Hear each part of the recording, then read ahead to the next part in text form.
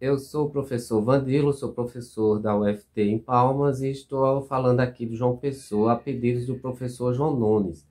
É, o professor João me pediu para falar sobre uma obra que eu tenha lido e que eu comentasse sobre essa obra que eu gostei. Recentemente eu li um livro que já que foi lançado em 2018 pela editora da UEPB. O livro é Gilberto Freire e José Lins do Rego, Diálogos do Senhor da Casa Grande com o Menino de Engenho. Esse livro é do professor Calbi Dantas. Calbi foi nosso colega aqui em Campina Grande, no, na UFPB, na época que eu fazia Ciências Sociais, a graduação. Calbi foi nosso colega de graduação. E ele escreveu esse livro que é muito interessante, eu gostei muito da leitura, é uma leitura agradável, que nos remete a uma época já passada, né? E, acima de tudo, a relação de amizade entre Gilberto Freire, pernambucano, e José Lins do Rego, que é um paraibano, né? Esse livro, ele tem a apresentação da professora Elizabeth Cristina de Oliveira Lima. É nossa colega também. A Bebete estudou conosco né, e escreveu um, uma apresentação muito bacana também sobre o livro. É, o pós-fácil é escrito também por outra colega, a Luciana Chian, uma professora que mora aqui atualmente em João Pessoa. Né? A Luciana é daqui de João Pessoa, esteve fora um tempo e voltou à sua terra natal. Eu estou falando de João Pessoa porque eu estou aqui fazendo um pós-doutorado com a professora Maristela, tá? Mas é, é, a nossa graduação foi feita em Campina Grande, na, na UFPB, que hoje atualmente se chama UFCG, né? Houve desmembramento. Então, o Calbi era um aluno super dedicado, muito competente, né? na época muito admirado pelos colegas e que continua sendo. Ele fez esse livro, escreveu esse livro, que é, na verdade, o resultado da sua dissertação de mestrado. A Elizabeth, a professora Elizabeth, foi a sua orientadora. Ele bebeu em fontes, é, como ele mesmo diz, da, da disciplina de antropologia com a professora Maristela, onde ele começou a ler sobre Gilberto Freire a partir da disciplina de antropologia com Maristela. E depois, já na graduação, ele começou a escrever sobre essa temática. No mestrado, ele aprofundou e resultou nessa análise das cartas escritas entre os dois amigos, né? Dois amigos que se identificavam pela temática que eles escreviam. Eles gostavam de escrever sobre o regionalismo, sobre a sua terra, sobre o engenho da família, né? essas histórias que compõem o interior aqui do estado ou da região nordeste do estado da Paraíba e do estado de Pernambuco. Né? O Gilberto Freire, como pernambucano, é, precisou se exilar na, em Lisboa durante um período por questões políticas e lá ele escreveu uma da, da, das cartas que eu achei muito interessante. O Calbi traz um trecho de uma carta que é muito bacana, muito interessante. É, o, o Gilberto Freire escreve sobre a sua solidão neste momento. Né? Ele fala: Meu querido Lins, Olívio veio hoje me ver aqui nesta velha casa sua conhecida do encantamento, onde estou sozinho com um bocado de livros e uns cacos de louça e de imóveis. Uma parte está ilegível. Né? Daqui quase não saio, estou mais isolado do que nunca, sem ler jornais nem acompanhar as novidades.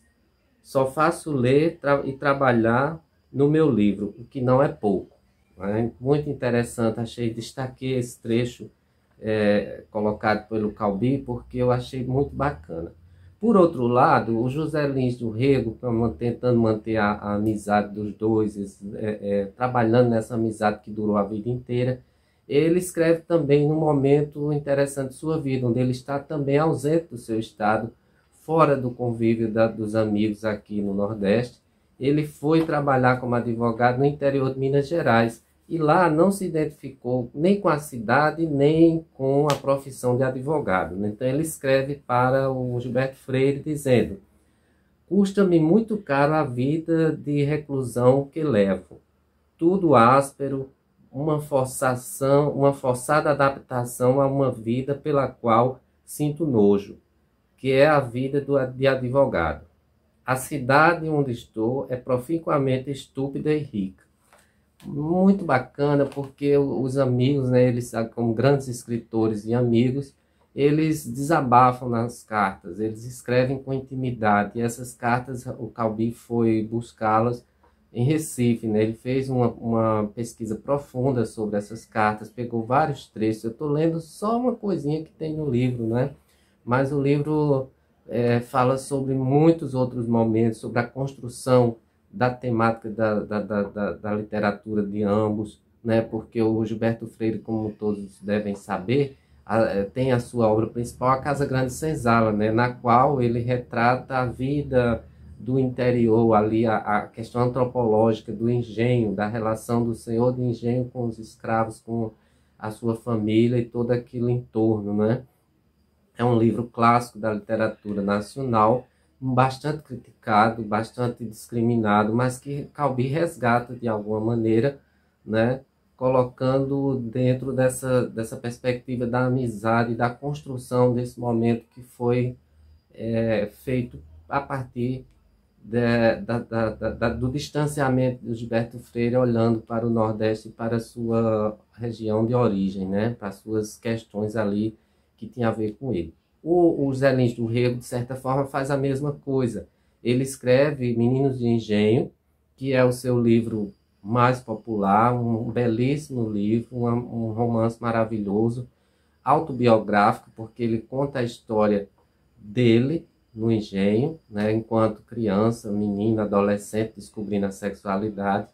E, e, os dois trocam figurinhas, digamos assim. Eles conversam sobre essas questões relacionadas à literatura, à vida familiar, às suas escolhas afetivas e vão seguindo tudo isso retratado por Calbi no, no texto. O texto ele é um texto que parece um, uma imagem de filme, né? Eu, eu, li o livro imaginando num filme imagens e fotografias de uma novela de época, né? Acho que seria muito legal ver esse texto transformado em um vídeo, um filme, algo do tipo.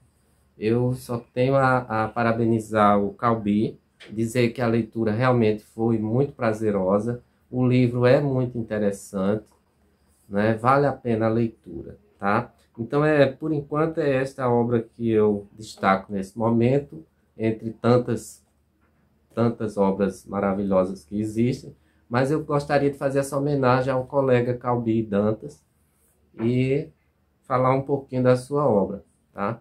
Então é isso, um abraço a todos e até a próxima resenha.